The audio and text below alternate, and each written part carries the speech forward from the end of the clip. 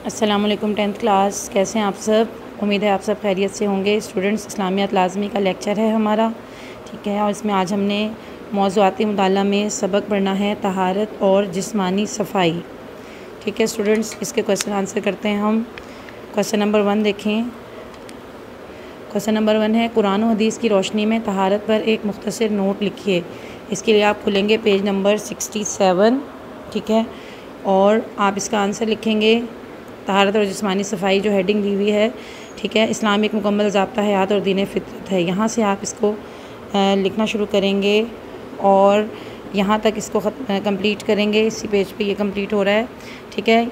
Last line है, नमाज़ से पहले वज़ू करना लाजमी है, बशर्ते के जिसम और लिबास पाक हो।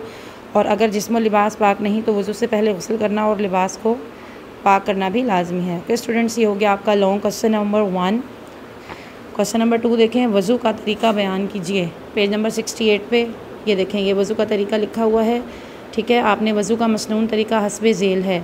इसके आपने एक, दो, तीन, चार, पाँच, ये नौ पॉइंट्स हैं। ये आपने नौ के नौ पॉइंट्स इसके आंसर में याद करने हैं। ओके, अब है क्वेश्चन नंबर थ्री। गसल करने का मसनून तरीका क्या है? अगेन आप पेज नंबर सिक्सटी एट खोलेंगे। ठीक है, इस पर यह गसल की हेडिंग दी हुई है। और नीचे लिखा हुआ है गसल का तरीका। ठीक है, आपने ये कंप्लीट तरीका यहाँ से लेके नहाने से पहले ये ज़रूरी है। यहाँ से लेकर और आपने मना किया गया है। यहाँ तक ये दो दो पैराग्राफ जो है वो लॉन्ग क्वेश्चन नंबर थ्री का आंसर है आपका।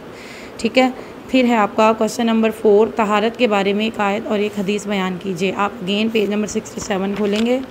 ठीक है, यहाँ से आप लिखेंगे लाइन नंबर थ्री से तहारत और पाकिजगी के बुनियादी असूल बताकर सिर्फ़ एक पुरानी आयत और एक हदीस पर इतफ़ा किया जाता है, ठीक है? ये कुरानी आयत और ये हदीस, इसका तर्जुमा आप याद करेंगे, क्वेश्चन नंबर फोर, यहाँ से यहाँ तक।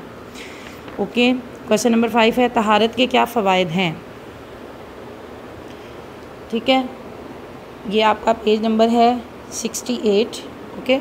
Last paragraph है, शरीयत के जो तरीके मुकर शरीयत ने जो तरीके मुकर किए हैं, ठीक है? यहाँ से लेके पेज नंबर सिक्सटी नाइन पर आप आ जाएँगे, ओके?